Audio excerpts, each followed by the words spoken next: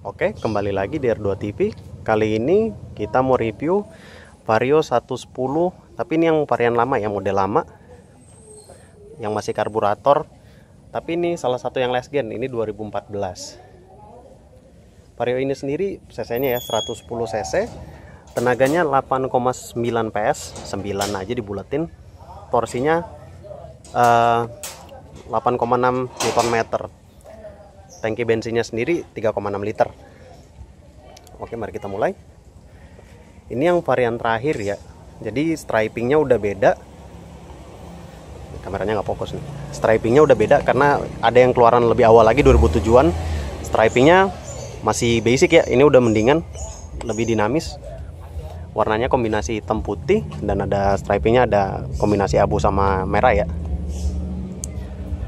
di atasnya juga batoknya ada striping disertai stiker Honda. Di sini kombinasi plastik untuk plat nomor di sini plastik hitam, putih. Lampu depannya sendiri kebagi dua klaster ya. Kristal multi reflektor. Di atasnya ada lampu senja, di bawahnya ada lampu gede. Di sini ada lampu seinnya ya, kiri dan kanan, sebelah kiri dan kanan. Ini spatbor depannya, dikasih stiker juga striping dari Honda ban depannya udah diganti ya tapi ukurannya masih sama.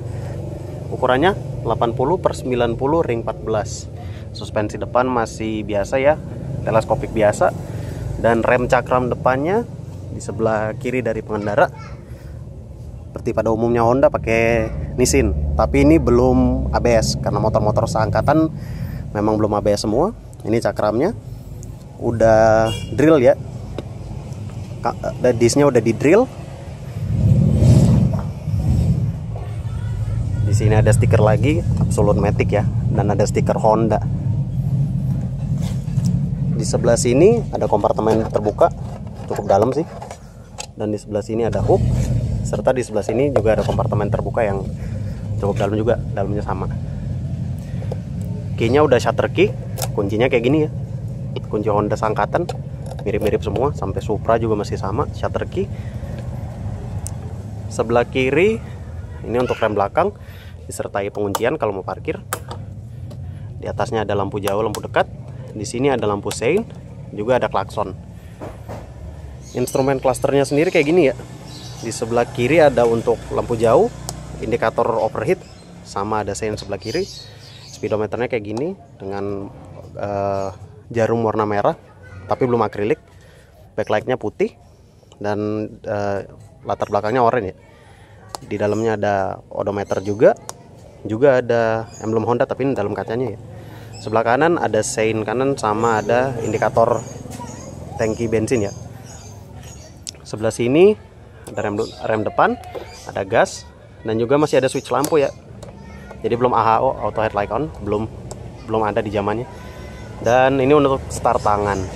Sini ada stiker-stiker peringatan serta dek bawah yang cukup luas ini udah liquid cooled ya. Untuk vario ini enaknya walaupun cc nya terhitung kecil 110 tapi udah diberikan radiator. Liquid cool jadi kalau jalan jauh setidaknya lebih aman lah pikiran ya. Nggak takut-takut panas. Belakangnya ada knalpot serta ditutupi cover plastik. Ban belakangnya juga udah diganti nih diganti Pirelli tapi ukurannya tetap sama sama standarnya. Ukurannya nih 90 per 90 ring 14 sama ya kayak standarnya emang ukuran segitu juga. Lampu belakangnya sendiri biasa ya. Multi reflektor biasa. Warna merah bohlamnya dalam masih bohlam biasa belum LED sebelah kiri ada sein sebelah kanan ada sein masih bohlam juga.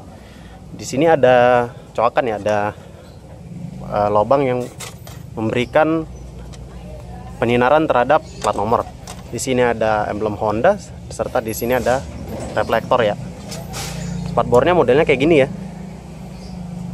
Di sini ada handle untuk penumpang belakang. Besi, masih besi belum dilapis karet. Bagasinya sendiri ukurannya segini ya. Kalau bisa fokus kameranya. Nah tapi nggak muat helm. Suspensi belakang sebelah kiri ini ada box air filter serta CVT star kaki di belakang sini ya. Di tengah ada stand ada standar tengah dan sebelah kiri ada side stand tapi deck bawahnya lagi dicabut nih. Menurut ownernya sendiri eh, nggak uh, terlalu rewel ya. Cuma memang karena motor yang dipakai harian jadi baru habis overhaul mesin karena mesinnya kerak sama CVT baru dibersihin Oke, sekian review dari R2 TV mengenai Vario 110 tahun 2014. Terima kasih sudah menonton.